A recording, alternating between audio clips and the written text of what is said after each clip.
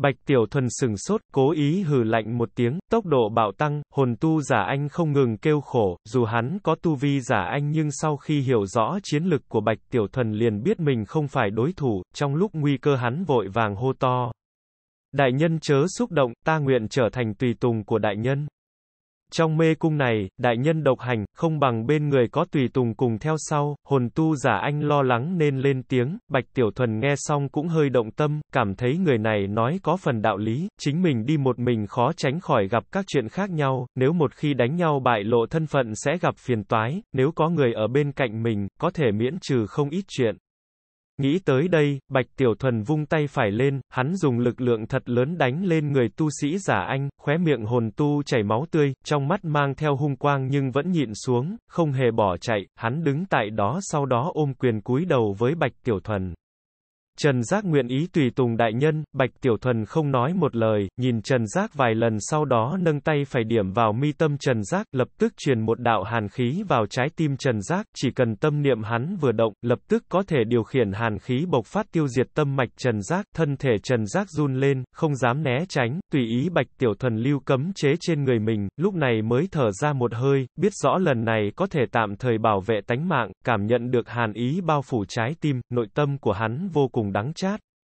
Đi, Bạch Tiểu Thuần tận lực giả giọng khàn khàn, lại phân phó hắn đi trước, Trần Giác vội vàng đồng ý, hắn giữ vững tinh thần thủ hộ chung quanh Bạch Tiểu Thuần, hắn biết rõ nếu mình muốn mạng sống phải nhờ vào luyện hồn sư này bảo hộ, chỉ cầu chính mình tận hết sức, sau khi rời khỏi nơi đây đối phương sẽ buông tha cho mình, Bạch Tiểu Thuần nhìn như mặt không biểu tình nhưng trên thực tế đang ngầm quan sát Trần Giác, trong nội tâm rất đắc ý, suy nghĩ mình quá anh minh, đi tới chỗ nào cũng có kẻ cúi đầu bái lạy khóc hô muốn trở thành tùy tùy tùng của mình, không đồng ý còn không được, không biết đối phương biết suy nghĩ của Bạch Tiểu Thuần sẽ có cảm nhận thế nào, Bạch Tiểu Thuần càng nghĩ càng cảm thấy thú vị, hạ quyết tâm, lúc này mình phải giả vờ trở thành người trầm mặc ít nói, như vậy lực uy hiếp của hắn càng lớn hơn một chút.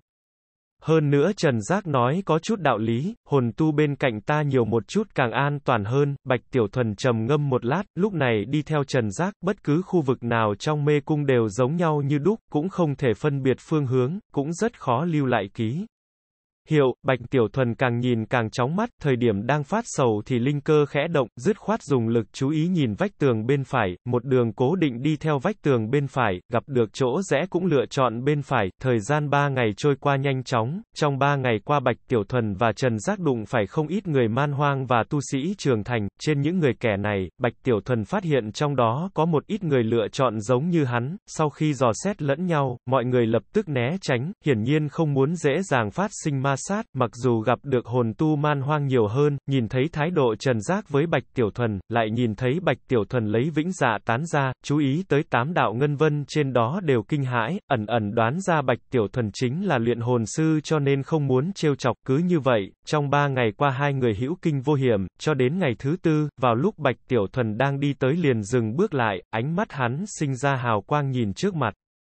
Phía trước không đúng, Bạch Tiểu Thuần khàn khàn mở miệng, Trần Giác bên người sững sờ, hắn nhìn con đường phía trước không có gì thần kỳ cả, Bạch Tiểu Thuần cũng nhìn không ra, sau trận chiến năm đó trong sơn mạch lạc trần, hắn phát hiện mình rất nhạy cảm với nguy hiểm, cho nên hắn vô cùng tin vào trực giác của mình, vào lúc này trong cảm nhận của hắn, khu vực phía trước nhìn như bình thường nhưng lại ẩn giấu sát cơ, không dừng lại nữa, Bạch Tiểu Thuần lập tức lui về phía sau, mặc dù Trần Giác không hiểu gì cả nhưng cũng lui theo sau với hắn, vào lúc hai người lui ra sau, một tiếng cười lạnh vang lên trong khu vực nhìn như bình thường kia, trong chớp mắt trước mặt xuất hiện gợn sóng như mặt nước, từng đạo thân ảnh lao ra thật nhanh, lại có hơn 10 người, cả đám có tu vi không tầm thường, sau khi xuất hiện liền nhắm thẳng Bạch Tiểu Thuần, trong mắt Bạch Tiểu Thuần sinh ra sát cơ, hắn nâng tay phải cầm vĩnh dạ tán, tám đạo ngân vân lóng lánh chói mắt, càng có gương mặt quỷ đang cười giống như như ẩn như hiện, lúc sắp đại chiến, đột nhiên trong màn nước có tiếng quát lớn. Không được vô lễ, khi lời nói vang lên, đám hồn tu bay thẳng về phía Bạch Tiểu Thuần dừng bước, lúc này trong màn nước có một người đi ra, đây là một thanh niên, sắc mặt âm trầm, trên người mặc trường bào vô cùng chân quý, mi tâm có một vết ngấn, kẻ này chính là Chu Nhất Tinh, hồn lực chấn động bao phủ chung quanh, hồn lực này khác với hồn lực của hồn tu khác, dường như nó thâm thúy hơn nhiều, còn ẩn chứa cảm giác nào đó, chỉ cần nhìn sơ là có thể phân biệt ra được, nhất là trong tay hắn có một đám hỏa diễm, màu sắc hỏa diễm hay thay đổi, nhìn kỹ. Có tới 9 màu sắc, Bạch Tiểu Thuần chỉ nhìn sơ qua nhưng tâm thần rung động rất mạnh, hắn nhận ra được, hảo diễm này là cửu sắc hỏa.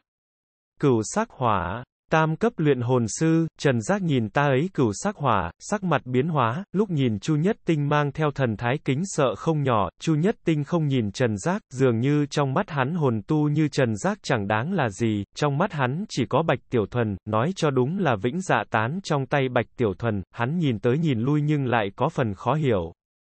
Ngươi là hồn tu hay là luyện hồn sư, ánh mắt Chu Nhất Tinh đảo qua vĩnh dạ tán sau đó lại nhìn sang Bạch Tiểu Thuần. Cửu sắc hỏa, nội tâm bạch tiểu thuần chấn động, hắn nhìn cửu sắc hỏa trong tay Chu Nhất Tinh, cảm nhận tu vi đối phương không phải nguyên anh, mà là kết đan đại viên mãn giống như mình, mặc dù như thế nhưng bạch tiểu thuần càng khiếp sợ lực lượng ẩn chứa trong cửu sắc hỏa, dường như chỉ cần bóp vỡ là bạo phát ra thực lực kinh người, lúc này đối phương cũng dò xét hắn, hắn cũng dò xét thanh niên này, chú ý tới ánh mắt đối phương đang nhìn vĩnh dạ tán, trên thực tế hắn xuất ra cây dù này cũng có tác dụng chấn nhiếp đối thủ, lúc phát hiện tu vi của người này không mạnh hơn mình nhưng lại có cửu sắc hỏa, nhất là nhìn thần sắc trần giác, hắn có thể nhận ra thân phận đối phương. Man hoang, luyện linh, luyện hồn, Bạch Tiểu Thuần nhớ lại những tin tức mình thu thập được trong mấy năm qua, lại nhớ trong tay hồn tu man hoang sử dụng pháp bảo luyện linh nhiều lần, trong lòng của hắn ẩn ẩn có một suy đoán, thời điểm này không phải lúc suy nghĩ sâu xa, Chu Nhất Tinh nhìn Bạch Tiểu Thuần, Bạch Tiểu Thuần cũng nhìn thanh niên này, ánh mắt hai người chớp động, đều cảm nhận được chấn động của nhau, sau đó vô cùng vui vẻ. Ít có việc ta không nhận ra, hỏi lại ngươi một lần, ngươi là hồn tu hay là luyện hồn sư, Chu Nhất Tinh cau mày, trong mắt sinh ra hàn quang, hắn hỏi lại lần nữa, vào lúc hắn hỏi ra những lời này, sát ý đám hồn tu chung quanh bộc phát, bọn chúng nhìn chằm chằm vào Bạch Tiểu Thuần. Luyện hồn sư, Bạch Tiểu Thuần híp mắt, cảm thấy nói như vậy đối phương không tin, cảm nhận hồn lực chấn động trên người đối phương, hắn lập tức bộc phát tu vi, bởi vì mặt nạ thần kỳ có tác dụng chuyển hóa linh lực thành hồn lực, Bạch Tiểu Thuần bộc phát tu vi, người ngoài nhìn thấy không phải linh lực chấn động, mà là hồn lực, hồn lực cường đại mà bá đạo, cũng không phải hồn tu, mà là lực lượng chỉ có luyện hồn sư mới có thể khống chế, sắc mặt những hồn tu chung quanh biến hóa, Chu Nhất Tinh thu hồi ánh mắt, sau khi cảm thụ hồn lực liền nhìn vĩnh dạ tán trong tay Bạch Tiểu Thuần, hắn cau mày suy nghĩ. Là ta ảo giác sao, vì sao lúc trước hắn tiếp cận, cửu sắc hỏa của ta lại lắc lư, có cảm giác như rời khỏi tay bay về phía hắn. Cho dù chỉ là biến hóa trong nháy mắt, về sau khôi phục như thường nhưng đây là chuyện chưa từng xảy ra. Là cây dù kia, không giống. Người này không đúng. Cứ chém giết hắn trước sẽ tìm được đáp án, Chu Nhất Tinh đang khó hiểu, Bạch Tiểu Thuần cũng xoắn suýt, đầu óc hắn đang hoạt động rất nhanh, đánh giá cửu sắc hỏa trong tay Chu Nhất Tinh, suy nghĩ có nên giết người đoạt bảo hay không, hắn cân nhắc thực lực hai bên một chút, lại nhìn cửu sắc hỏa trước mặt mình liền do dự, hắn cũng không phải cố kỵ đối phương nhiều người, mà là kiêng kỵ lực lượng hủy diệt của cửu sắc hỏa, chỉ khi nào chiếm được cửu sắc hỏa, Bạch Tiểu Thuần có thể luyện linh vĩnh dạ tán lần thứ 9, kể từ đó uy lực sẽ càng lớn, đối với hắn mà nói, cho dù tăng cường tỷ lệ sinh ò ồn trong mê cung lên một ít cũng đáng giá mạo hiểm. Người này không biết tốc độ của ta, nếu tấp kích đột nhiên có thể cướp đoạt cửu sắc hỏa, hai người đều có tâm tư, ánh mắt chớp động sau đó nhìn thẳng vào nhau, ánh mắt mỗi người xuất hiện hàn quang, Chu Nhất Tinh đã hạ quyết tâm, hắn nâng tay trái chỉ về phía Bạch Tiểu Thuần. Sát, trong nháy mắt Chu Nhất Tinh mở miệng, cùng thời gian Bạch Tiểu Thuần tiến về phía trước một bước, hắn vận dụng tốc độ cực hạn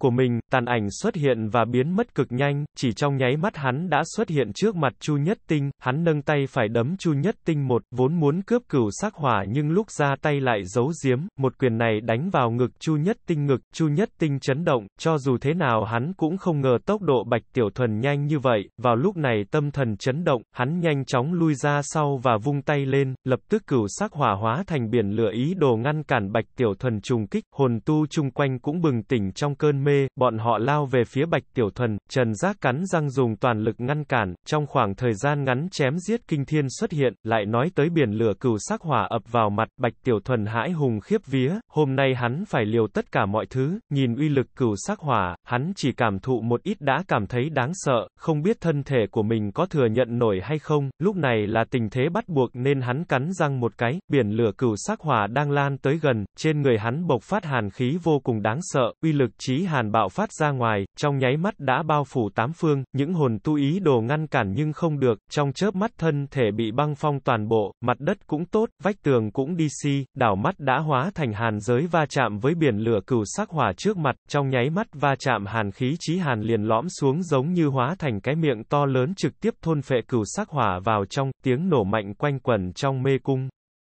Phong cho ta, bạch tiểu thuần hét lớn một tiếng, hàn khí lập tức bao phủ bốn phía và hình thành tầng tầng phong ấn, lúc sắp phong ấn cửu sắc hỏa, cửu sắc hỏa cũng không phải thứ tầm thường, hàn khí chung quanh không ngừng hòa tan, chỉ có điều cửu sắc hỏa chỉ là lục bình không dễ, thời điểm hòa tan hàn khí chung quanh, màu sắc bản thân nó cũng ảm đạm rất nhiều, dường như tùy thời sẽ dập tắt, sắc mặt chu nhất tinh biến hóa, hắn muốn thu hồi cửu sắc hỏa nhưng bạch tiểu thuần không cho hắn cơ hội này, cửu sắc hỏa va chạm với trí hàn, Bỗng nhiên vĩnh dạ tán bung ra ngăn cản phía trước, gương mặt quỷ dị trên cây dù xuất hiện, nó hấp mạnh về phía Chu Nhất Tinh, Chu Nhất Tinh sờn hết cả gai ốc, sinh cơ bị trói chặt.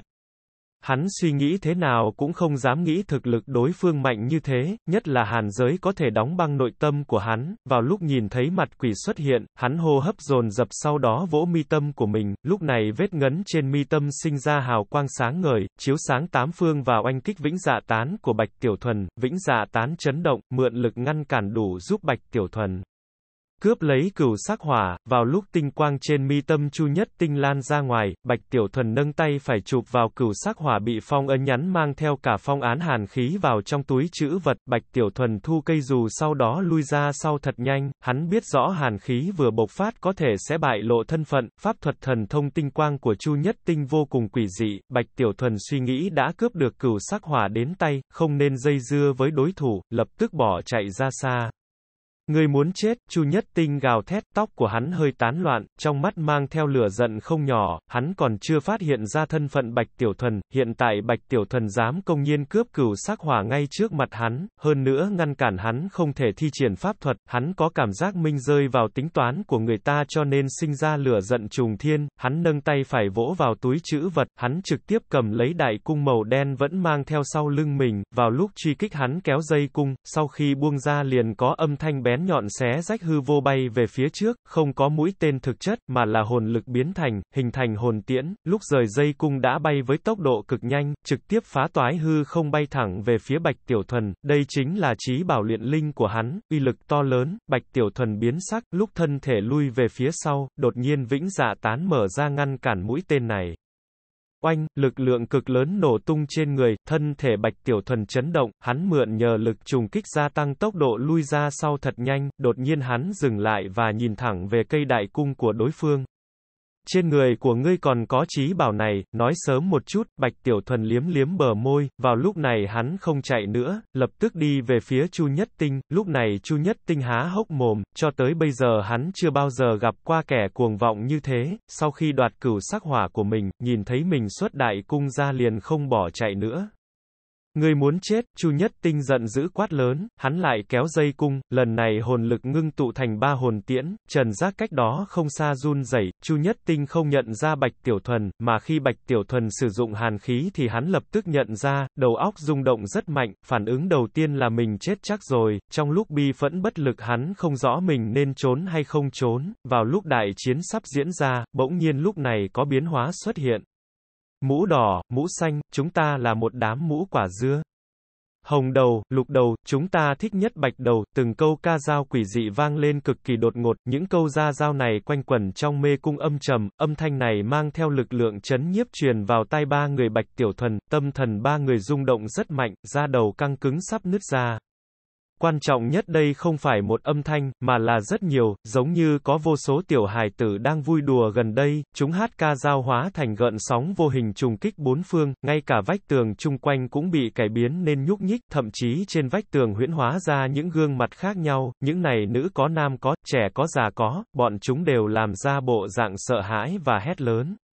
Mũ đỏ đến, chạy mau, Mũ đỏ đến, những gương mặt trên vách tường không ngừng kêu gọi giống như muốn ẩn núp, càng thêm quỷ dị chính là mặt đất xuất hiện rất nhiều gương mặt, những gương mặt này đang kêu thảm thiết, càng kinh người hơn chính là vách tường đang nhúc nhích và cải biến phương hướng, con đường sau lưng ba người bị đóng kín triệt để, vị trí của bọn họ vừa đi biến thành ngõ cụt, cảnh tượng này làm Bạch Tiểu Thuần cùng Chu Nhất Tinh khiếp sợ Trần Giác không tốt hơn chút nào, tâm thần ba người rung động rất mạnh, có cảm giác sơn gai ốc, cảm giác này không liên quan tới tu vi, dường như tới từ sâu trong linh hồn bản thân khi gặp phải thiên địch, toàn thân ba người như rơi vào trong băng lạnh, cho dù Bạch Tiểu Thuần tu hành hàn môn dưỡng niệm quyết vẫn cảm giác mình lạnh toát, thân thể run rẩy không khống chế nổi. Xảy ra chuyện gì, thời điểm hiện tại ba người Vô cùng khiếp sợ, cũng không còn tâm tình tiếp tục chém giết, đột nhiên góc rẽ lúc trước khi bọn họ gặp nhau, đó là khu vực không nhìn thấy lại có tiếng kêu thảm thiết vang lên, tiếng kêu còn mang theo bộ dáng khó tin, những tiếng kêu này vang lên liên tiếp, có một bàn tay vươn ra từ góc tường, bạch tiểu thuần ba người nhìn sang, cánh tay có máu tươi đầm đìa, bàn tay nắm chặt vách tường giống như phía sau có cái gì đó kéo đi, ba người bạch tiểu thuần nhìn không thấy nhưng lại phát hiện lực kéo người kia ra phía sau rất mạnh, oanh, cánh tay kia không thể tiếp tục kiên trì nên bị kéo mạnh ra sau, ngay sau đó là âm thanh nhấm nuốt, âm thanh này khủng bố đến mức khó có thể hình dung, tiếng nhấm nuốt thay thế tiếng ca dao vừa rồi, Trần Giác run rẩy không thôi, hắn tới gần Bạch Tiểu Thuần, giờ phút này hắn không quan tâm thân phận Bạch Tiểu Thuần, so sánh với những chuyện khủng bố đang diễn ra, hắn cảm thấy ở gần Bạch Tiểu Thuần sẽ an toàn hơn một ít, sắc mặt Bạch Tiểu Thuần tái nhợt, thân thể hắn không ngừng run rẩy, hắn mở to mắt nhìn chằm chằm vào góc rẽ, trong lòng run sợ, cố tình lui ra phía sau nhưng sau lưng ba người mặc dù còn có đường nhưng bọn họ biết đó là từ lộ, Chu Nhất Tinh sợ hãi, hô hấp bất ổn, trên đường đi tới đây hắn thu phục không ít tùy tùng, cũng đánh chết không ít người, hắn ở trong mê cung mấy ngày nhưng chưa từng gặp qua chuyện quỷ dị thế này, cảm giác sợ hãi tới từ tận linh hồn làm đôi mắt hắn co rút lại nhìn chằm chằm vào bàn tay máu phía sau góc tường, đúng lúc này âm thanh nhắm nuốt biến mất tiếng ca dao vang lên. Mũ đỏ, mũ xanh, chúng ta là một đám mũ quả dưa. Hồng đầu, lục đầu, chúng ta thích nhất bạch đầu, tiếng ca dao vang lên cùng với tiếng cười vui sướng, ba người vừa nghe được đã khiếp sợ không nói thành lời, ngay sau đó. Tại góc tường, đột nhiên, có mũ đỏ bay ra, cái mũ đỏ thẫm, thậm chí vành nón còn có máu tươi chảy xuống. Cái mũ lung la lung lay bay tới sau đó dừng lại, dường như nhìn thấy ba người bạch tiểu thuần. Bạch đầu, trong mũ có đồng âm, nó bay tới thì ba người bạch tiểu thuần lui ra phía sau, trong nháy mắt bọn họ lui ra phía sau nhưng mục tiêu của cái mũ đỏ không phải ba người bọn họ, mà là hơn 10 hồn tu bị Bạch Tiểu Thuần dùng hàn khí đóng băng, trong nháy mắt mũ đỏ bay tới đỉnh đầu một hồn tu bị đóng băng, vào lúc nó rơi xuống tầng băng kêu răng rắc, băng đá vỡ vụn lộ ra thân thể hồn tu, hồn tu này chưa triệt để tử vong, tánh mạng chi hỏa còn tồn một tia, lúc này hắn mở to mắt, sắc mặt vặn vẹo và kêu la thảm thiết, bất cứ ai nghe được tiếng kêu thảm thiết này đều cảm giác lông tơ dựng đứng, càng làm ba người Bạch Tiểu Thuần nhìn thấy mà giật mình chính là chuyện sau đó, mũ đỏ. Chụp lên đỉnh đầu hồn tu, thân thể của hắn run rẩy rất mạnh, từng âm thanh nhắm nuốt vang lên, mà âm thanh từ bên trong cái mũ truyền ra. Cút ngay, cút ngay a hát, hồn tu kêu gào thảm thiết, hắn giơ tay muốn tháo cái mũ xuống nhưng không làm được, chỉ qua mấy hô hấp hắn dừng dãy dụa sau đó không nhúc nhích, lúc này dưới vành mũ đỏ có máu tươi chảy xuống, sau khi mũ đỏ bay lên, ba người bạch tiểu thuần nhìn thấy đỉnh đầu hồn tu kia chính là màu trắng. Đó là đầu lâu, đầu lâu cũng không nguyên vẹn, mà là thiếu một khối lớn, bọn họ nhìn thấy trong đầu lâu hồn tu không còn lại gì cả. Hồng đầu, lục đầu, chúng ta thích nhất bạch đầu, cái mũ đỏ cười hì hì, sau khi bay vòng tròn liền đáp xuống một hồn tu bị đóng băng khác, cùng lúc đó tại góc rẽ có nhiều tiếng hát ca dao vang lên, lúc này có một đám mũ đỏ, mũ xanh bay ra. Mũ đỏ, mũ xanh, chúng ta là một đám mũ quả dưa, có tới vài chục cái mũ, mỗi một cái đều có máu tươi rơi xuống, chúng vừa bay vừa phát ra tiếng hát ca dao, khi phát hiện đám hồn tu bị đóng băng liền bay qua, cũng đáp xuống đỉnh đầu bọn họ, số lượng mũ quá nhiều, hồn tu chỉ có mười mấy người cho nên không đủ chia, vì vậy những cái mũ còn lại bay vòng vòng liền chú ý ba người bạch tiểu thuần, trong nháy mắt chúng phát hiện ba người bạch tiểu thuần, lúc này từng gương mặt trên vách tường và mặt đất đồng thanh hét lớn. Xong rồi, chúng đến, lúc này còn có mười mấy cái mũ cười vang, chúng bay thẳng về phía ba người Bạch Tiểu Thuần, ba người không có đường lui, trong lúc nguy cơ trước mắt thân thể Bạch Tiểu Thuần căng cứng, hắn nâng tay phải ném cả ngàn tấm phù lục về phía Trần Giác. Chính ngươi chạy trốn để khỏi chết đi, Bạch Tiểu Thuần kêu to, hắn lao, lúc này thân thể hắn kêu đùng đùng, trong chớp mắt lại có hơn 10 bộ khôi giáp xuất hiện và cả vạn phù lục tỏa sáng, cực kỳ chói mắt, sau đó hàn khí bộc phát quanh người, hàn khí trải rộng bốn phía sau đó hắn biến mất, lúc xuất hiện đã ở nơi xa, hắn vừa bay đi cực nhanh, sau lưng hắn có 7-8 cái mũ đuổi theo, Trần Giác cắn răng một cái, hắn dán phù lục Bạch Tiểu Thuần cho hắn lên người, tu vi bộc phát, hắn liều mạng thi triển pháp thuật bay nhanh về phía trước, chung quanh người hắn có 5-6 cái mũ đuổi theo, Chu Nhất Tinh há hốc mồm, hắn sắp khóc thét lên, hắn cảm thấy không công bình. Chỉ có 7-8 cái mũ đuổi theo Bạch Tiểu Thuần, 5-6 cái truy kích Trần Giác năm, hắn lưu lại nơi này, có hơn mười mấy cái đang nhìn chằm chằm vào hắn. Số lượng mũ còn nhiều gấp vài lần so với Bạch Tiểu Thuần cùng Trần Giác. Tại sao có thể như vậy? Sắc mặt Chu Nhất Tinh tái nhợt, hắn kêu lên đầy thảm thiết, hắn cắn răng hạ quyết tâm, vết ngấn trên mi tâm tỏa sáng, hào quang bao phủ tám phương, lúc hào quang vừa xuất hiện hắn đã vượt qua mấy chục cái mũ, đám mũ xuyên thấu qua hào quang nhưng không tìm được Chu Nhất Tinh, lúc hào quang biến mất, thân ảnh Chu Nhất Tinh cũng không còn, những cái mũ này không ngừng tìm kiếm khắp bốn phía, cũng không tìm được, vì vậy chúng tạo thành đàn vừa hát ca dao vừa tiến lên, trong khu vực khác của mê cung, một đám hào quang đột nhiên xuất xuất hiện, thân thể Chu Nhất Tinh lảo đảo đứng tại đó và phun máu tươi, sắc mặt trắng như tờ giấy, vết ngấn trên mi tâm hắn ảm đạm không ít. Đáng chết, lại ép ta dùng tinh ngấn chi lực của gia tộc, Chu Nhất Tinh nghiến răng nghiến lợi, nghĩ tới những cái mũ ma quỷ quái dị kia, nội tâm hắn còn sợ hãi, hắn quan sát chung quanh không thấy cái mũ nào liền thở ra một hơi. Đoạt cửu sắc hỏa của ta, còn muốn cướp bảo cung. Người này, hàn khí, thân thể cường đại, Đáng chết, tại sao hắn lại tương tự Bạch Tiểu Thuần như thế? Chu Nhất Tinh nhớ lại trận chiến lúc trước, kết hợp tình báo Bạch Tiểu Thuần mà hắn biết, hắn đã tập trung thân phận Bạch Tiểu Thuần nhưng không dám xác định, hắn suy nghĩ cẩn thận lại nắm chắc 6-7 phần. Nếu hắn là Bạch Tiểu Thuần, lại có thể cải biến khí tức. Trên người kẻ này chắc chắn có bảo vật. Đáng chết, vừa rồi ta mới truyền tống nên mất phương hướng đường nhỏ lúc trước, lại phải dò. Đường lần nữa, Chu Nhất Tinh thở dài, hắn cất bước đi xa, tại khu vực cái mũ xuất hiện, ba người Bạch Tiểu Thuần không ngừng bỏ chạy ra chung quanh, tại một khu vực trống trải chỉ còn lại hơn 10 thi thể các hồn tu, đầu những hồn tu này thủng một lỗ lớn, những thứ bên trong không còn, những gương mặt ở vách tường chung quanh thở ra một hơi, lúc này chúng không ngừng nghị luận giống như rất sợ hãi.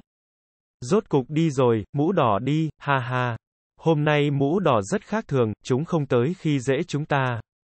Đúng thế, rất khác thường A Hát, không đúng A Hát, vào lúc đám gương mặt đang hào hứng bừng bừng nói chuyện với nhau, đột nhiên sắc mặt bọn chúng biến hóa, cả đám mở to mắt nhìn chằm chằm một hướng, chúng há to miệng giống như có ai đó bóp cổ, trong mắt xuất hiện thần thái sợ hãi còn hơn cả lúc nhìn thấy đám mũ đỏ, tại khu vực ánh mắt chúng nhìn, hư vô nơi đó vặn vẹo, một thân ảnh mơ hồ dần dần rõ ràng, đó là một người con gái với mái tóc dài, dung nhan kiều mị nhưng không biết tại sao trên người nàng xuất hiện khí chất kỳ lạ. Thật nhiều người nha, tiểu ca ca cũng tới đây. Cô gái che miệng cười cười, đôi mắt híp lại như trăng lưỡi liềm, nàng lúc này xinh đẹp hơn không ít, hết lần này tới lần khác khí chất quái dị càng đậm, bởi vì trong đôi mắt của nàng còn có đồng tử khác, dường như hai đồng tử trọng điệp lên nhau vô cùng quỷ dị. Cảnh tượng này làm nhiều người sợ hãi không nói thành lời, nếu như Bạch Tiểu Thuần còn ở nơi đây, hắn sẽ nhận ra cô gái này là ai. Chính là công tôn Uyển Nhi, Bạch Tiểu Thuần hiện tại đang liều mạng chạy như điên, sau lưng hắn có 6-7 cái mũ đuổi theo, trên đường đi Bạch Tiểu Thuần đã thử phản kích, mặc dù Bạch Tiểu Thuần sử dụng bất cứ pháp thuật gì tấn công đám mũ cũng không có tác dụng, càng như vậy Bạch Tiểu Thuần càng khẩn trương, cho dù hắn thi triển tốc độ cực hạn đi chăng nữa, đám mũ vẫn đuổi sát phía sau. Đuổi theo ta làm cái gì? Ta, Đầu ta không thể ăn, Bạch Tiểu Thuần cực kỳ sợ hãi, hai tay che đỉnh đầu, trên đường hắn chạy như điên, cũng may đoạn đường này gặp không ít hồn tu và thổ dân man hoang, dường như đám mũ này không nhất định phải ăn Bạch Tiểu Thuần, dần dần cũng bị đám người khác hấp dẫn, hơn nữa tốc độ Bạch Tiểu Thuần quá nhanh, dần dần cũng bỏ rơi đám mũ, phát hiện sau lưng không còn đám mũ truy kích, Bạch Tiểu Thuần thở ra một hơi, đám mũ vừa rồi quá quỷ dị, nội tâm hắn còn sợ hãi, hắn cân nhắc đám mũ không còn truy kích mình, mà lại đi truy kích người khác, Bạch Tiểu Thuần cảm thấy buồn bực. Chẳng lẽ đầu ta thật sự không thể ăn, Bạch Tiểu Thuần lầm bẩm một câu, hắn nhanh chóng ném suy nghĩ này ra khỏi đầu, hắn tìm một nơi không có người. Sau đó do dự một chút, hắn phất tay tạo ra sương mù che đậy bốn phương, hắn lại sử dụng hàn khí phong tỏa chung quanh, lúc này mới liếm liếm bờ môi lấy cửu sắc hỏa ra khỏi túi chữ vật, sau khi cẩn thận xóa đóng băng, hắn cầm cửu sắc hỏa, ánh mắt vô cùng kích động, mặc dù hỏa diễm ảm đạm không ít nhưng cuối cùng vẫn là cửu sắc hỏa, bạch tiểu thuần cầm trong tay, cảm nhận lực lượng vô cùng kinh người bên trong, hồi tưởng lại những việc xảy ra lúc trước, bạch tiểu thuần cảm thấy tất cả đều đáng giá. Cửu sắc hỏa bất phàm, nếu không phải nó không có cung cấp khác, sợ rằng hàn khí của ta cũng không thể phong ấn nó được. Có hỏa diễm này, vĩnh dạ tán của ta có thể luyện linh lần thứ 9. Một khi luyện linh 9 lần, uy lực của nó càng lớn, năng lực bảo vệ tính mạng của ta cũng tăng nhiều, Bạch Tiểu Thuần nghĩ tới đây liền quan sát chung quanh, lập tức mang Quy Văn Oa và Vĩnh Dạ tán ra ngoài, bắt đầu quá trình luyện linh. Nơi này là mê cung, không biết lực lượng thiên địa đầy đủ hay không, Bạch Tiểu Thuần do dự một lúc, ngày đó trước khi theo ba vạn người tới đây, hắn đã luyện linh trong trường thành, lúc đó hắn cảm giác lực lượng thiên địa rất thưa thớt, luyện linh hơi bất ổn, vừa vặn có quy văn oa thần kỳ nên miễn cưỡng luyện linh thành công, lúc này chẳng những cửu sắc hỏa ảm đạm, lại còn ở trong mê cung, Bạch Tiểu Thuần do dự một lúc vẫn quyết định luyện linh. Vì gia tăng khả năng bảo vệ tính mạng, đáng giá nếm thử một chút, nếu thất bại cũng là chuyện không có biện pháp. Vì mạng nhỏ của mình, Bạch Tiểu Thuần là người keo kiệt cũng trở nên quyết đoán, bắt đầu luyện linh, khi cửu sắc hỏa bị Quy Văn Oa hấp thu, vân lạc trên Quy Văn Oa bắt đầu tỏa sáng chói mắt, Bạch Tiểu Thuần hơi khẩn trương nhìn chằm chằm vào, sau khi tất cả vân lạc sáng lên, tinh thần hắn rung động, vội vàng ném vĩnh dạ tán vào trong Quy Văn Oa, vào lúc ném vĩnh dạ tán vào trong, Quy Văn Oa rung động mạnh và tỏa sáng, lực lượng kỳ dị trong Quy Văn Oa rót thẳng vào trong vĩnh dạ tán, sau đó ngưng tụ thành ngân vân thứ 9 trên pháp bảo, lúc ngân vân thứ 9 xuất hiện, vĩnh dạ tán run run, bạch tiểu thuần ẩn ẩn nghe được bên trong pháp bảo đang phát ra tiếng gào thét sung sướng, rất nhanh, quy văn oa bình tĩnh trở lại, tất cả khôi phục như thường, bạch tiểu thuần sững sờ. Thành công! Ta chưa cảm nhận được lực lượng thiên địa rót vào mà, Bạch Tiểu Thuần kinh ngạc, cầm lấy vĩnh dạ tán sau đó quan sát một lúc, phát hiện đã luyện linh thành công, hắn kinh ngạc nhìn Quy Văn Oa, lại nhìn vĩnh dạ tán, lúc trước hắn luyện linh đều dẫn động lực lượng thiên địa, tại sao lần này không xuất hiện, nhớ lại không có tình huống gì khác biệt, bỗng nhiên ánh mắt Bạch Tiểu Thuần sáng lên. Là hỏa diễm khác nhau. Lúc trước ta luyện linh chỉ dùng tài liệu đa sắc hỏa, sau khi dẫn đốt tạo thành đa sắc hỏa, lần này là trực tiếp sử dụng đa sắc hỏa. Hơn nữa hỏa diễm thuộc về man hoang, Bạch Tiểu Thuần hơi suy nghĩ, liên tưởng đến hồn tu man hoang, nhất là luyện hồn sư, trên người bọn họ có nhiều pháp bảo luyện linh như thế, hắn ẩn ẩn cảm giác được một chút manh mối. Có lẽ tê man hoang luyện linh không cần lực lượng thiên địa, nếu không nơi này có lực lượng thiên địa yếu ớt như vậy, làm sao có thể xuất hiện nhiều pháp bảo luyện linh như thế, Bạch Tiểu Thuần suy tư nửa ngày, biết rõ mê cung tràn ngập nguy cơ, không cho phép hắn phân tâm quá nhiều, vì vậy hắn áp chế vui sướng vào đáy lòng, chờ sương mù và hàn khí biến mất, hắn lại bắt đầu đi trong mê cung, lại trôi qua hai ngày, Bạch Tiểu Thuần chú ý cẩn thận cho nên không gặp phải những thứ quái dị như cái mũ, hắn dần dần phát hiện cho dù tu sĩ trưởng thành hay là hồn tu man hoang. Dường như số lượng giảm đi không ít. Mấy ngày trước ta gặp hơn 10 người. Hiện tại ta một ngày gặp năm ba người là nhiều, số lượng giảm nhiều, Bạch Tiểu Thuần nhìn vách tường chung quanh, hắn có cảm giác nguy hiểm rất mạnh, mê cung giống như cái miệng lớn cắn nuốt tất cả mọi người, Bạch Tiểu Thuần sợ hãi quan sát chung quanh. Không được, ta phải tìm được lối ra. Nhưng nơi này mọi thứ đều giống nhau, lối ra ở đâu, Bạch Tiểu Thuần sầu mi khổ kiểm, hắn thử dùng một ít biện pháp như đánh dấu ký hiệu nhưng không có tác dụng. Gì, cuối cùng hắn dùng biện pháp rất đần, đó là nhìn chằm chằm vào vách tường bên phải và chậm rãi tiến lên phía trước, thời gian ba ngày trôi qua, Bạch Tiểu Thuần cảm giác mình đã chóng mặt, vẻ mặt đau khổ, lúc hắn đi qua một góc rẽ, bỗng nhiên ra đầu hắn tê dại, cảm giác âm trầm bao phủ thân thể hắn, âm trầm hóa thành băng hàn, hắn ngừng thở nhìn chằm chằm phía trước, hắn cẩn thận lui ra sau sợ gây ra cái gì đó chú ý, trước mặt hắn không có mũ đỏ mũ xanh, nơi đó là khu vực giống như quảng trường, nơi đó kết nối với bốn phía, trên quảng trường có hai cây nến cực lớn đang thiêu đốt, ngọn nến có hỏa diễm màu xanh, cả quảng trường đều bị màu xanh bao phủ, chính giữa hai cây có đặt một cái mâm lớn, trong cái mâm có đồ vật trồng chất như núi, đó là vô số. Huyết màn thầu, mỗi một huyết màn thầu đều đỏ tươi như máu, ai nhìn thấy cũng cả kinh, giống như chúng bị ngâm trong máu mới lấy ra ngoài. Đây không phải là chuyện quỷ dị nhất, da đầu Bạch Tiểu Thuần sắp căng nứt ra, có mấy trăm người đang ở trong quảng trường, mấy trăm người này có tu sĩ trường thành, có hồn tu và thổ dân man hoang, thậm chí có cả luyện hồn sư. Những người này đứng đó không nhúc nhích, thần sắc mê man nhìn chằm chằm vào huyết màn thầu, không có người nào nói chuyện, trong quảng trường chỉ có âm thanh hít thở ồ ồ mà thôi, trong huyết màn thầu có hương khí nồng nặc lan tỏa ra chung quanh, hương khí cũng xông vào mũi bạch tiểu thuần, hương khí kia rất ngọt ngào, sau khi xâm nhập vào trong cơ thể lại hóa thành mùi thi thể thối rửa, sắc mặt bạch tiểu thuần tái nhợt, loại chuyện này không quan hệ tu vi, hắn nhìn thấy trong mấy trăm người kia có cả tu sĩ Nguyên Anh, chính điểm này mới làm hắn khiếp sợ nhất, lúc hắn muốn lui bước đi con đường khác, đột nhiên hắn dừng bước nhìn chằm chằm vào mấy thân ảnh trong mấy trăm người đang đứng ở quảng trường.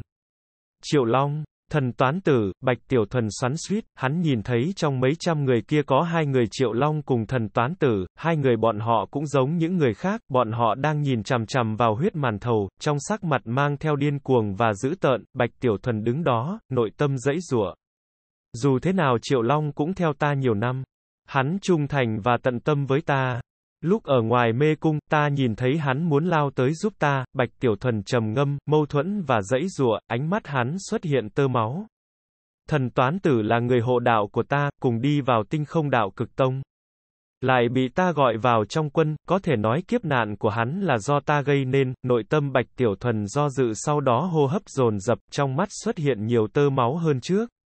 Hắn cũng sợ hãi, hắn có Sợ tử vong không thể diễn tả thành lời, nhất là trong quảng trường này cất giấu hung hiểm lớn lao, nếu hắn rời đi có lẽ có thể tránh được, nếu hắn bước vào, chỉ sợ ngay cả hắn cũng lâm vào kiếp nạn, nội tâm Bạch Tiểu Thuần vô cùng do dự, hắn như hóa thành hai người, một người nói cho hắn biết nên đi cứu, một còn lại nói hắn nên trai đi, Bạch Tiểu Thuần lại nhớ tới Sơn Mạch Lạc Trần năm xưa, mặc dù tình huống khác nhau nhưng bản chất không khác nhau, lúc Bạch Tiểu Thuần xoắn suýt, bỗng nhiên hai ngọn núi trên quảng trường thiêu đốt mạnh hơn, hỏa diễm lay động rất mạnh.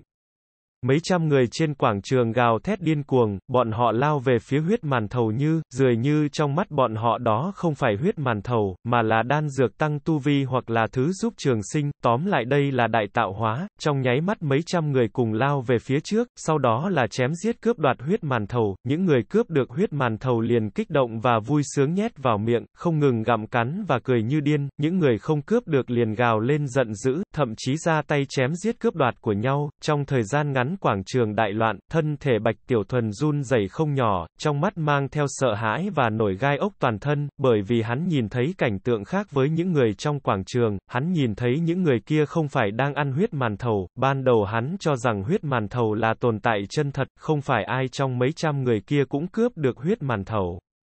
Mà những người không cướp được óc không phát giác, mà những người cướp được lại kích động gặm cắn, bọn họ gặm cắn.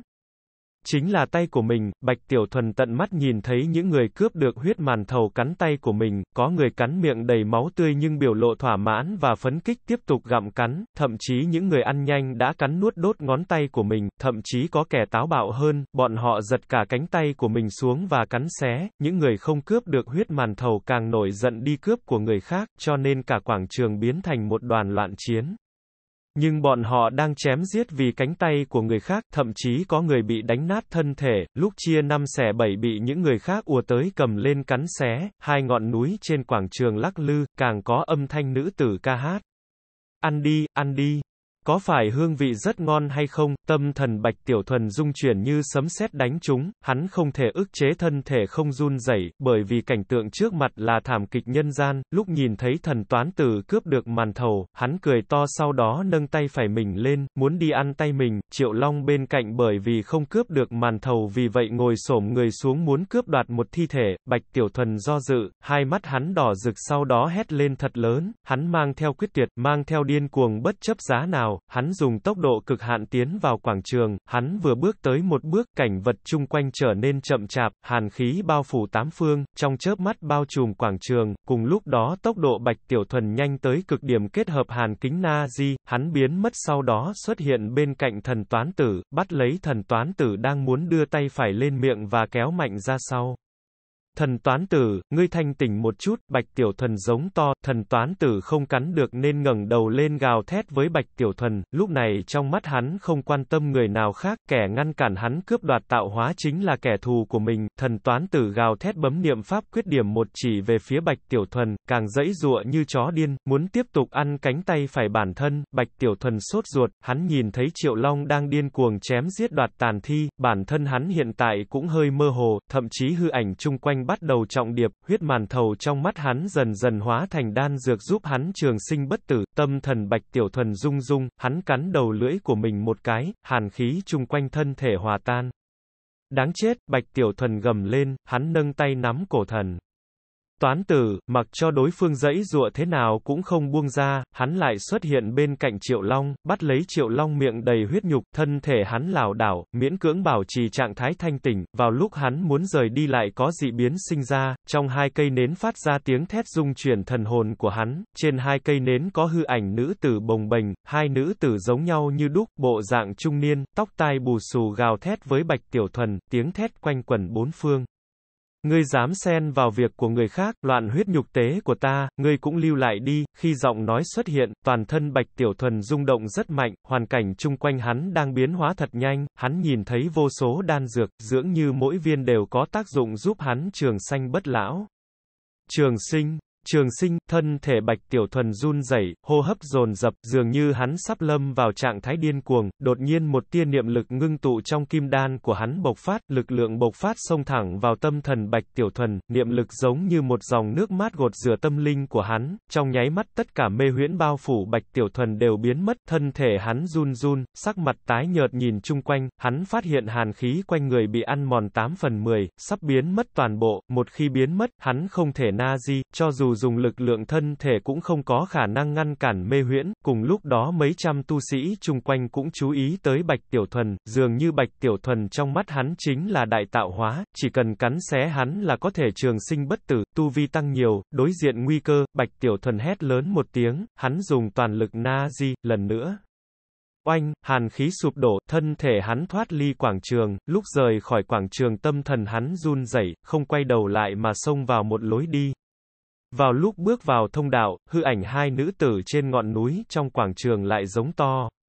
Ngươi muốn chạy, sau khi thét lớn hai nữ tử đồng thời bay ra, muốn đuổi theo Bạch Tiểu Thuần, đột nhiên trong nháy mắt hư vô bên ngoài lối đi vặn vẹo, thân ảnh công tôn Uyển Nhi xuất hiện, nàng bước đi chậm rãi sau đó nâng tay phải điểm vào hai hư ảnh nữ tử.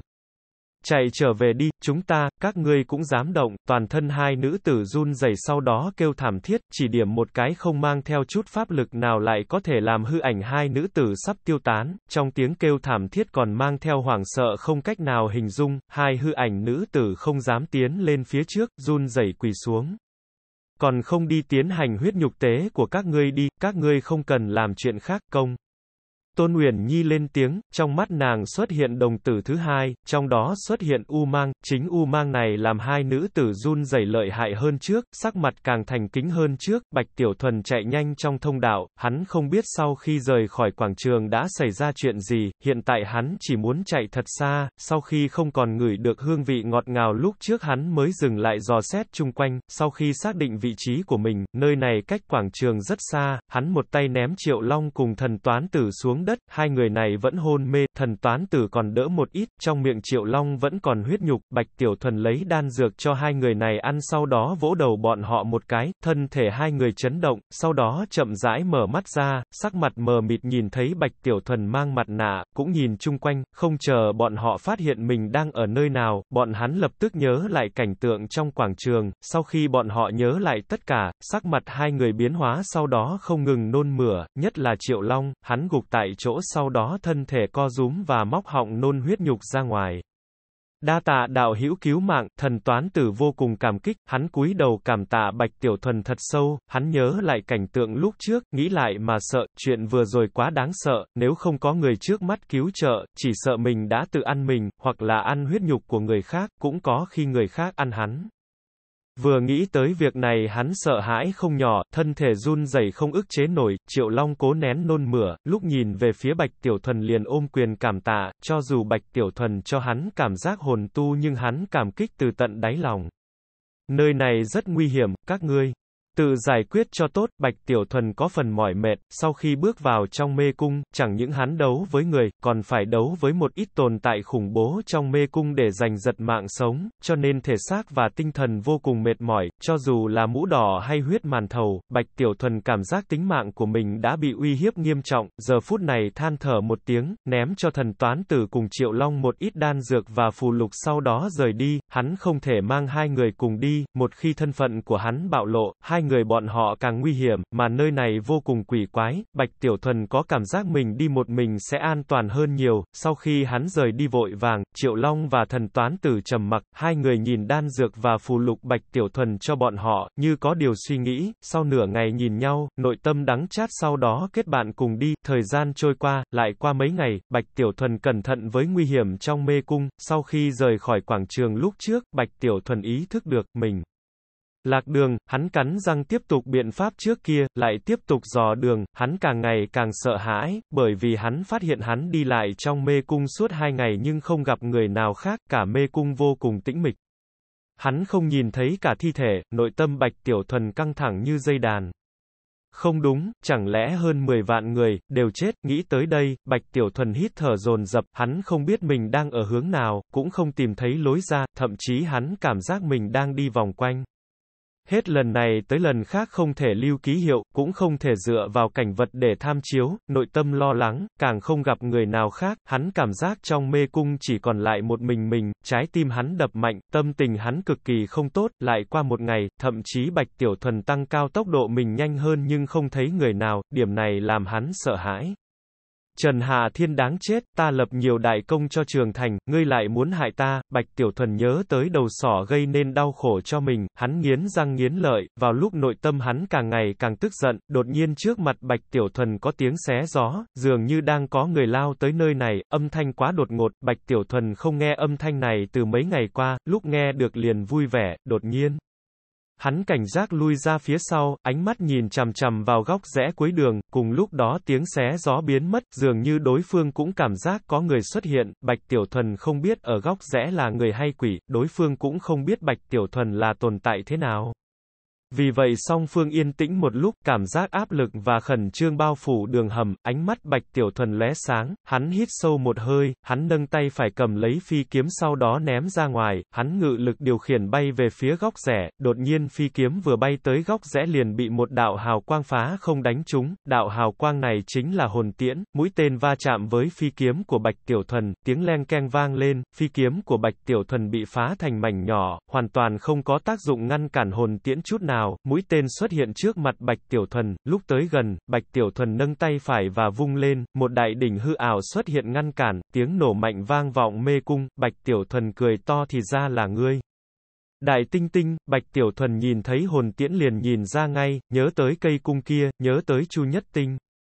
Hắn không biết tên của Chu Nhất Tinh nhưng nhớ vết ngấn ánh sao trên mi tâm đối phương, hắn rất ấn tượng cho nên dứt khoát đặt tên cho hắn, hắn biết rõ đối phương là người, không phải những đồ chơi tinh linh cổ quái kia, tinh thần bạch tiểu thần phấn chấn, hắn lập tức bay tới góc rẽ, thời điểm hắn bay tới góc rẽ liền nhìn thấy Chu Nhất Tinh bước ra nhìn chằm chằm vào bạch tiểu thần, ra mặt co rúm vài cái, những ngày qua hắn sống trong hãi hùng khiếp vía, gặp không ít đồ vật quỷ dị, không nói cửu tử nhất sinh nhưng không khác bao nhiêu, nếu không phải phải có vết ngấn trên mi tâm, chỉ sợ hắn đã chết từ lâu rồi, mặc dù hôm nay chạy thoát nhưng vô cùng chật vật, tóc tai bù xù không nói, tiêu hao phẩm trong túi chữ vật biến mất bảy tám phần, vết ngấn trên mi tâm ảm đạm không chịu nổi, sợ rằng hắn dùng thêm vài lần sẽ vỡ nát, muốn ngưng tụ lạc ấn lần nữa, cần phải về gia tộc và quỳ lạy trong tổ từ 7749 năm mới hình thành lần nữa, mà những việc này, hắn cho rằng là do Bạch Tiểu Thuần. Trước khi gặp Bạch Tiểu Thuần hắn vô cùng thuận lợi, sau khi gặp Bạch Tiểu Thuần hắn liên tục gặp chuyện không may, lúc này càng không ngờ mình đã vài ngày không gặp một bóng người, thật vất vả mới gặp được lại là Bạch Tiểu Thuần. Bạch Tiểu Thuần, ngươi mới là đại tinh tinh, cả nhà ngươi đều là đại tinh tinh, Chu Nhất Tinh gào thét, hắn cũng mặc kệ có phải đối phương hay không, dù sao hắn nhận định là được, người này 89 phần 10 chính là Bạch Tiểu Thuần, lúc Bạch Tiểu Thuần đánh tới, Chu Nhất Tinh mở đại cung ra, siêu siêu siêu. Bắn bắn liên tục 9 mũi tên, tất cả đều nhắm thẳng vào Bạch Tiểu Thuần, lúc những mũi tên này bay tới gần, Bạch Tiểu Thuần phất tay, hắn cười dài, vĩnh dạ tán căng ra ngăn cản 9 mũi tên, tốc độ của hắn không giảm bớt bay thẳng về phía Chu Nhất Tinh, Chu Nhất Tinh nhìn vĩnh dạ tán của Bạch Tiểu Thuần có 9 đạo ngân vân lóng lánh liền nổi giận, ánh mắt đỏ rực, hắn nhớ lúc trước cây dù này có 8 ngân vân, rõ ràng chỉ mới luyện linh 8 lần, lúc này đã có 9 ngân vân. Không cần suy nghĩ nhiều, hắn có thể đoán được, sở dĩ như vậy nhất định có liên quan đến cửu sắc hỏa của mình, vừa nghĩ tới Bạch Tiểu Thuần dùng cửu sắc hỏa của mình luyện linh, hơn nữa lại luyện một lần là thành công, loại vận khí và biệt khuất này làm Chu Nhất Tinh tức điên. Đại tinh tinh đừng nóng giận, vậy ngươi nói cho ta biết tên ngươi là gì, bạch tiểu thuần cầm vĩnh dạ tán tới gần, hắn thu cây dù và bấm niệm pháp quyết thúc dục hàn khí hình thành vô số thứ tấn công chu nhất tinh, hắn nhìn thấy chu nhất tinh liền cao hứng, hắn đã mấy ngày không gặp người nào, hiện tại khó khăn lắm mới gặp được một người, bạch tiểu thuần không muốn chém giết đối phương, thậm chí hắn hối hận khi không mang thần toán tử cùng triệu long theo bên mình. Gia gia của ngươi tên là Chu Nhất Tinh, Chu Nhất Tinh nổi giận gầm lên một tiếng, lúc những băng thứ tới gần, hắn nhanh chóng lui ra phía sau, hai tay bấm niệm pháp quyết, trong thân thể hắn có oan hồn bay ra ngoài, những oan hồn này ngưng tụ thành ấn kỳ phù văn giữa không trung, chúng hóa thành hồn hảo ngăn cản băng thứ tấn công. Băng thứ vỡ vụn ken két, giống như băng hỏa va chạm nhau và tan vỡ, Chu Nhất Tinh lui ra sau lần nữa, hắn mỡ đại cung và bắn ra 18 mũi tên. Chết đi cho ta, đối mặt 18 mũi tên, Bạch Tiểu Thuần sẽ gặp phiền toái nếu không có vĩnh dạ tán, dù sao cũng là đại cung luyện linh 9 lần gia trì. Chu Nhị Tinh Ha ha, quả nhiên là đại tinh tinh, Bạch Tiểu Thuần cười nói, lúc 18 mũi tên tới gần, vĩnh dạ tán căng ra ngăn cản lần nữa, hàn khí bộc phát thúc dục băng thứ tấn công Chu Nhất Tinh, Bạch Tiểu Thuần có ý định bắt giữ, như vậy chẳng những có thể hỏi ra một ít bí mật của luyện hồn sư, còn có thể giải buồn, thậm chí thời khắc mấu chốt còn có thể ném ra dụ địch, trong mê cung không ngừng có âm thanh rầm rầm vang lên, vĩnh dạ tán thể hiện uy lực cường đại của mình, mặc cho 18 hồn tiễn oanh kích nhưng nó không hao tổn chút nào nào, thậm chí Bạch Tiểu Thuần nhìn không thấy nhưng Chu Nhất Tinh lại có thể nhìn thấy gương mặt quỷ trên cây dù đang tươi cười, mỗi khi hồn tiễn va chạm với mặt quỷ thì nụ cười của nó càng đậm, nụ cười quỷ dị của mặt quỷ làm Chu Nhất Tinh cảm giác sờn hết cả gai ốc, thậm chí hắn có cảm giác giống như gặp mũ đỏ.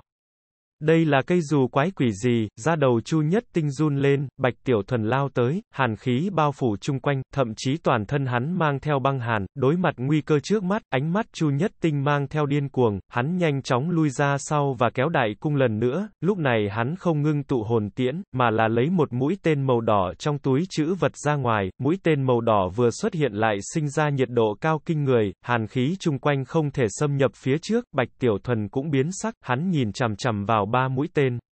Đây là, đây là cái gì? Tại sao ta có cảm giác như cửu sắc hỏa? Không đúng, là thập sắc hỏa. Trời ạ, Bạch Tiểu Thuần rung động không nhỏ, vào lúc này hắn mới ý thức được trên người Chu Nhất Tinh có nhiều bảo vật như vậy, nhất là mũi tên kia cho Bạch Tiểu Thuần cảm giác hít thở không thông, hắn lại nhìn vào mũi của mũi tên, hắn nhìn thấy đó là một đám hỏa diễm, dường như hỏa diễm đang chuyển hóa từ hư ảo thành thực chất, nhìn sơ qua cảm thấy vô cùng bất phàm, càng làm cho Bạch Tiểu Thuần động dung, hắn nhìn thấy tên mũi tên có một đạo. Kim Vân, Kim Vân, Bạch Tiểu Thuần nhất thời không biết Kim Vân là cái gì, hắn ẩn ẩn nghe nói qua Kim Vân này ở đâu đó rồi, lúc này hắn đang nghĩ xem đó là cái gì. Đây, đây là trí bảo luyện linh 11 lần, luyện linh 10 lần đều là ngân vân, chỉ có luyện qua 11 lần mới có thể hóa ngân vân thành một đạo kim vân, Bạch Tiểu Thuần đã đúng, đây chính là mũi tên. Luyện linh 11 lần, chu. Nhất tinh không có biện pháp, nếu như có khả năng, hắn cũng không muốn dùng mũi tên này, đây chính là đòn sát thủ của hắn, chỉ có một cây mà thôi, là gia tộc cho hắn làm vật phòng thân, bản thân vật này là bảo vật luyện linh, không phải 9 lần, mà là 11 lần, trí bảo luyện linh 11 lần, lại phối hợp với đại cung luyện linh 9 lần, mũi tên có thể bắn chết tu sĩ Nguyên Anh, vào lúc hắn mang mũi tên ra, có thể thấy được Chu Nhất Tinh hận Bạch Tiểu Thuần cỡ nào.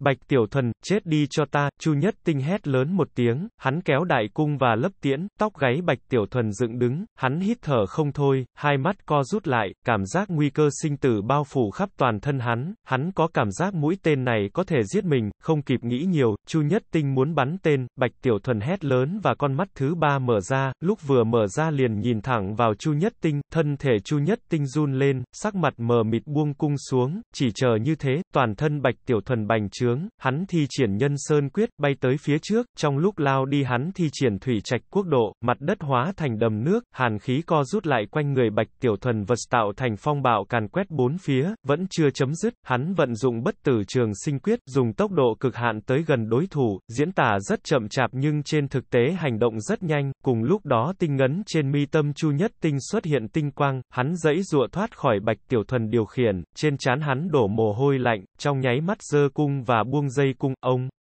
Mũi tên luyện linh 11 lần bay ra ngoài, trong lúc bay ra nó không còn là mũi tên, mà là hóa thành một đầu hỏa long chân thật, hỏa long tấn công Bạch Tiểu Thuần, đầu tiên va chạm với hàn khí phong bạo của Bạch Tiểu Thuần, ầm ầm, sóng xung kích ngập trời, hàn khí phong bạo bị hỏa long trùng kích, tiếng va chạm đinh tai nhức óc, thân ảnh Bạch Tiểu Thuần bay lên, hắn hóa thành người đá, hắn nâng tay phải và thi triển hám sơn tràng, toái hầu tỏa theo sát phía sau, hắn dựa vào lựa lượng người đá bộc phát lực lượng, không lùi mà tiến tới, không không né tránh, hắn trực tiếp tấn công, bởi vì hắn biết rõ một khi mình tránh đi, dưới uy lực mũi tên chém giết Nguyên Anh, hắn phải chết không nghi ngờ, phương thức thoát chết duy nhất chính là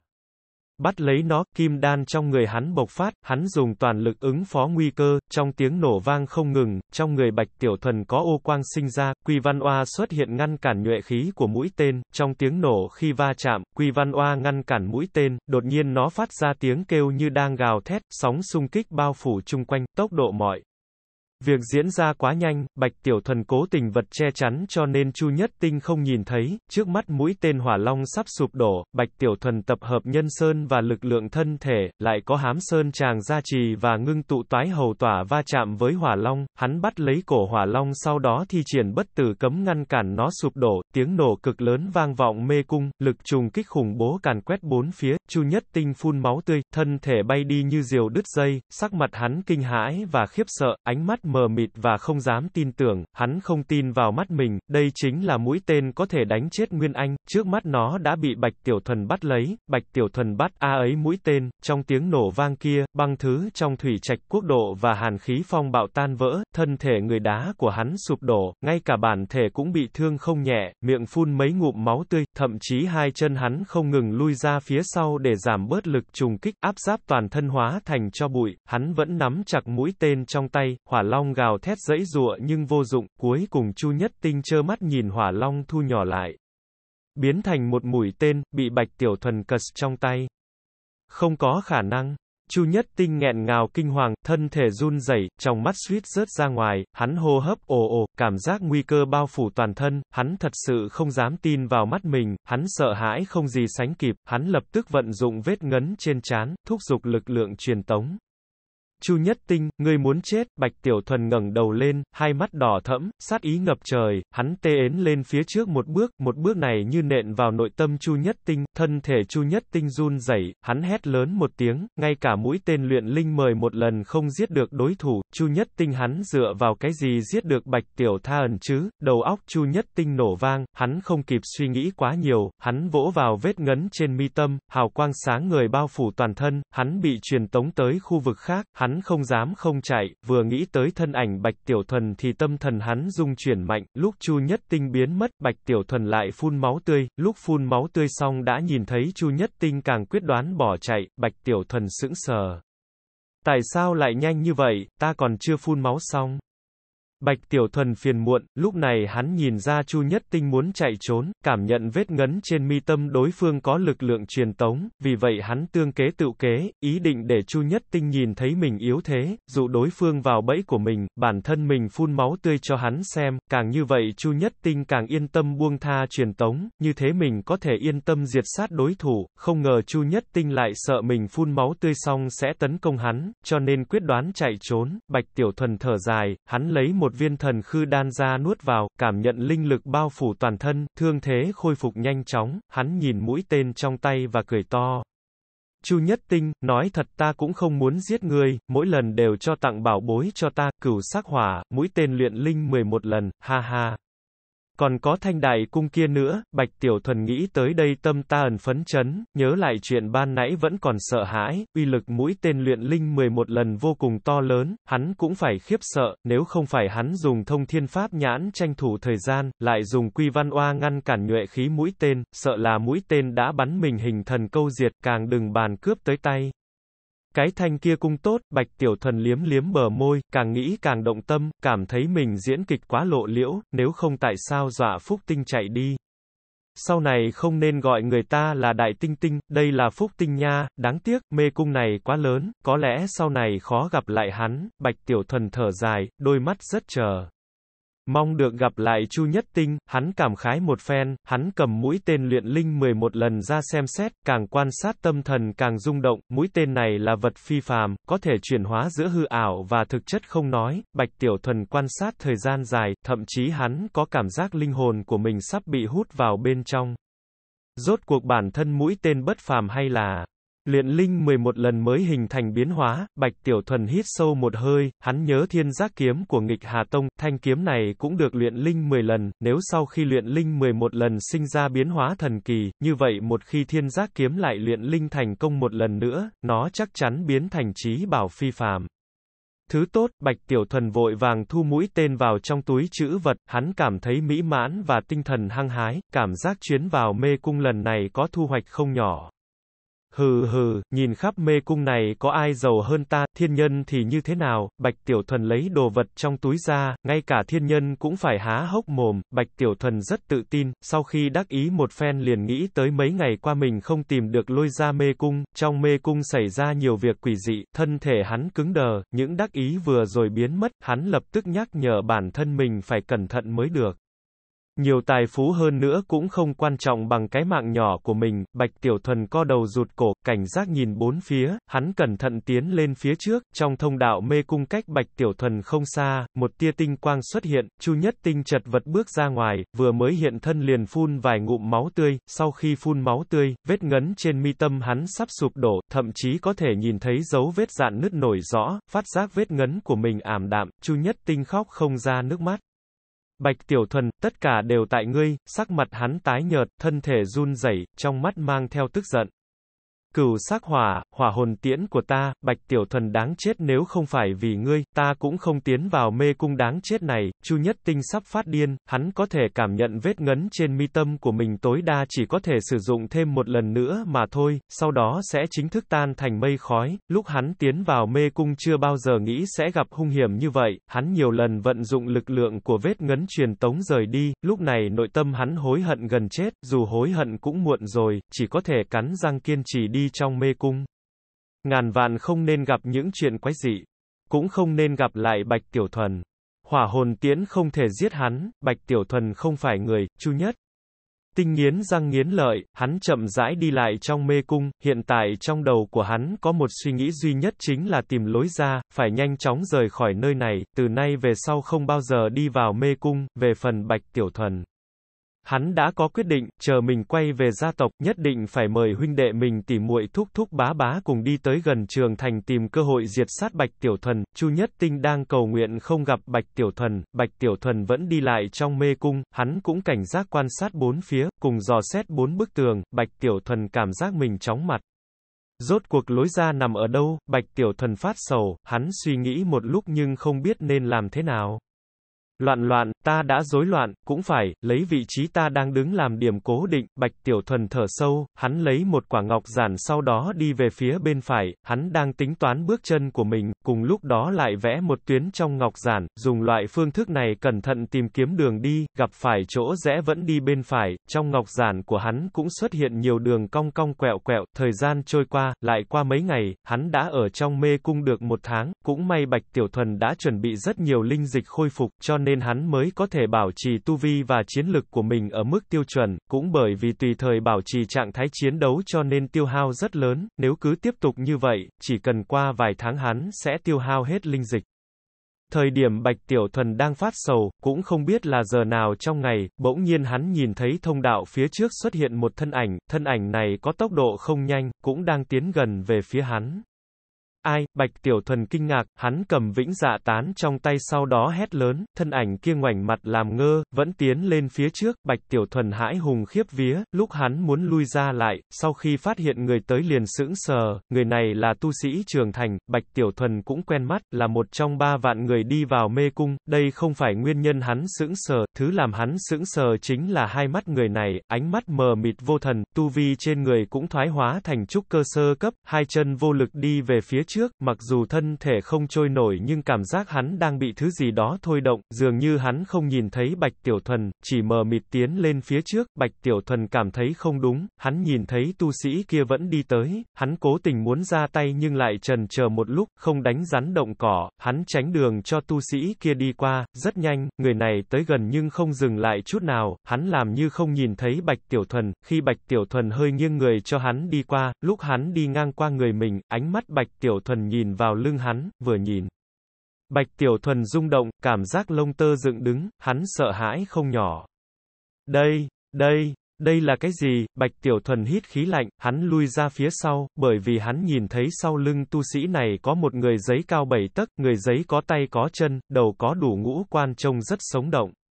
Người giấy dán vào lưng tu sĩ kia, dường như sinh cơ và tu vi của tu sĩ bị người giấy hấp thu, người giấy đang nhắm mắt, thần sắc vô cùng hưởng thụ, thậm chí dung mạo của nó đang cải biến, ẩn ẩn biến thành gương mặt của người kia, thân thể bạch tiểu thuần run rẩy với hình ảnh quỷ dị này, hắn che miệng mình lại, sợ mình kêu lên sẽ kinh động người giấy, sau khi tu sĩ lảo đảo rời đi, bạch tiểu thuần mới thở dài một hơi.